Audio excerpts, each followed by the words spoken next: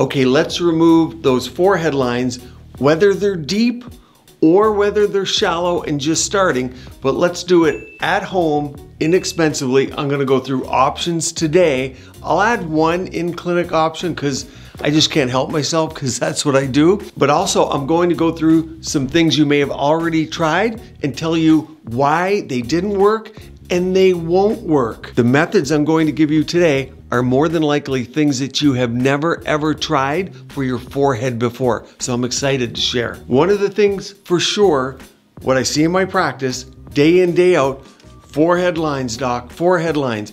And often people call this the forehead, the frown, or the glabella. But what we're talking about today is the forehead up here. It's an attractive feature of a female, and a lot of people want to wear their hair back, but it is a thin skinned area. So it's one of the first areas that's going to show age for people. Now keep in mind, the female forehead has been revered for years and there's actually an annual forehead day, which I didn't know about, but it actually exists.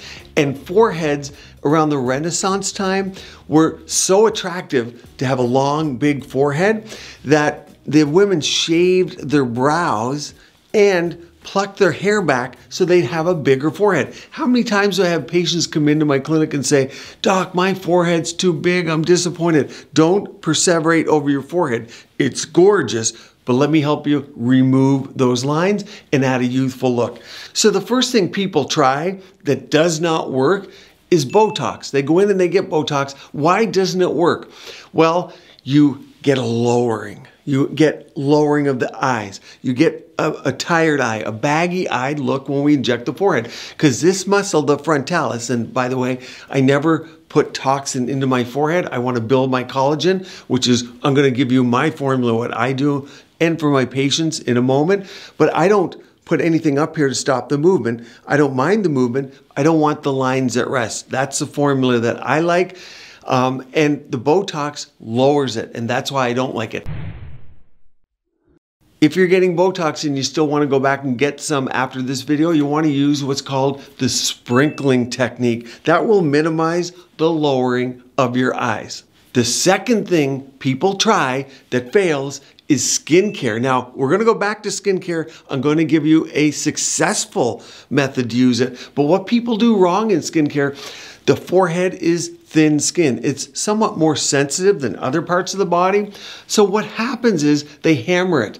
You use too much AHAs, too much inflammation, too much retinol. You get a tightness, that tight windburn feel. And you think that's good. And it looks good as long as you put makeup on, you hydrate it a bit, but you're aging it. You're killing the fat in your forehead. In a moment, I'll give you the correct skincare routine. Number three, the people tries RF microneedling. Now this one scares a lot of people. It should scare you. I never used RF microneedling on the forehead. You have a tiny amount of fat and that fat is youthful fat. It makes you look younger. Uh, and RF microneedling can get rid of fat, so there's no need to use it on the forehead. And for those of you that have lost forehead fat or facial fat from that or filler dissolving, I have videos on how to restore it. But the fourth thing that people have tried on the forehead, of course, is derma roller or even collagen induction therapy with the microneedling pen without energy. The problem there is similar. Too much inflammation. There's not enough fat there and people go too deep and too aggressive with their slip, meaning they're what they're infusing. So vitamin C, some people put retinols and they're often not sterile. You get inflammation and aging of the forehead. So it does the opposite of what you want. What works? Number one thing, and you might find this surprising, but face tape. Face taping the forehead does work. I have whole videos on face taping and how to face tape, the different types of face tape. But because we often frown and we raise our eyebrows and our heads on our pillow at night when we sleep, you wake up, particularly with these lines, you'll all know, going this way. Um, so kind of against the grains of the horizontal ones, but they're more on an angle and they're pointing down. And they, people are bothered by them. But what's that telling you? Loss of collagen. So face tape does help. It helps prevent you from doing that overnight or even during the day if you want to wear some during the day. Watch my video on that. There's different types. Some are translucent and some people do wear them during the day or while you're on the computer working. For many people, you can do that, but it will help fade the lines. Probably one you didn't think I would say, and maybe one you haven't tried, but I like it. Number two, I want you to insert bakuchiol in there, which is nature's plant-based type of retinol. If you're getting inflammation, that will help you alternate your retinol and the other nights you're going to use your bakuchiol or bakuchiol, which is the plant-based one that decreases inflammation but has a similar effect to retinol for those of you that get inflammation or uh, you just can't take the retinols consistently because of your skin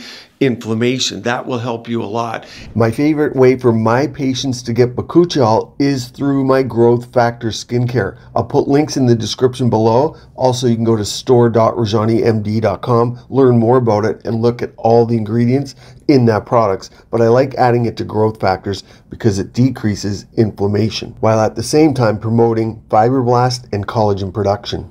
And the third thing, I want you three times a week to use a Korean sheet mask. That's a mask you put on 20 to 30 minutes, three times a week. This is the trend is decreasing inflammation in the skin because the inflammation is killing your fat and thinning your skin.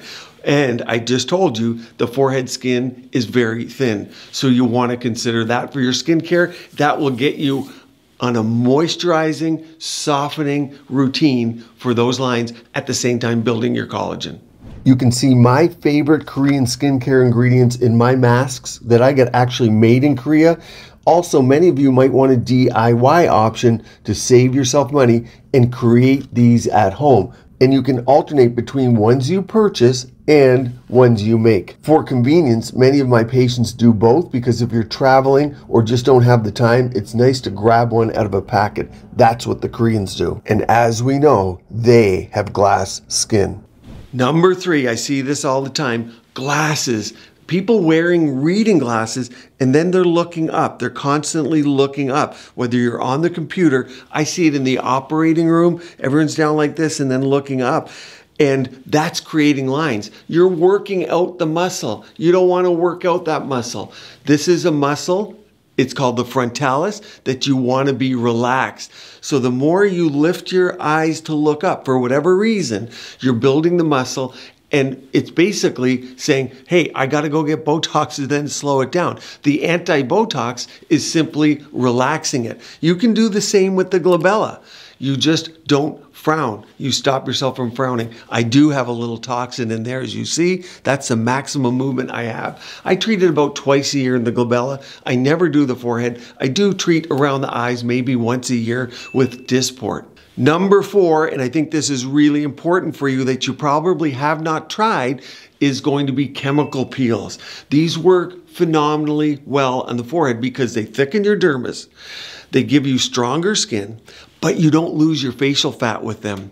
What am I talking about? TCA and glycolics. Uh, glycolic, think around 30 to 50% is a good percentage. Don't go up to 70% for most people on the forehead, and you can certainly, certainly start at 20%, but glycolics and TCAs work well. Another little trick up in the forehead is a glycolic combined with a vitamin C peel. Uh, that's a great peel for the forehead because the vitamin C uh, will help with brown spots. Of course, it helps build collagen. It works synergistically with the glycolics, and that's a great combination that you can get. You can do that at home if you're well versed in your skin, or you can do that in a clinic, whatever you prefer. But I love chemical peels for the forehead. Of course, the full face and neck, but the forehead particularly responds very well and it's something you can learn and do at home. The trend is people doing more and more at home skincare, especially as inflation goes up, the economy changes. The more you can do at home safely, uh, I condone it because we're going towards that and you're going to be doing it anyway. We just need education, which is part of why I'm on this channel. And if you really want to educate yourself on your skin, you can go to quizmd.com and there in under five minutes, you answer a few questions and you'll get an answer on the exact skincare routine for you that I would have told my patients in clinic based on your answer. So it's a great way to know what you should be on for your overall skincare, but also your forehead. Now, in the clinic, what can you do? Well, threads are my number one for the forehead. PDO smooth threads. I know some of you do these at home. I don't recommend that, but in the clinic, you can put the threads even directly into the lines. You cross them. Uh, a forehead, I'd be doing 1.5 inch threads, and I would do about eight per side, so about 16 total threads. Uh, and I'd repeat that at six to eight weeks. And that, so that's two sessions, and I would do that yearly. Now, if people are taking care of their skin, they're not getting a lot of sun damage, they're eating well, you're doing your skincare, you're doing your uh, Korean sheet masks, you're not getting a lot of inflammation, you're using your bakuchiol and your retin-A and your alpha hydroxys. You might never ever have to repeat the threads uh, because it's long lasting and you're not building up the muscle by doing the things that I aforementioned.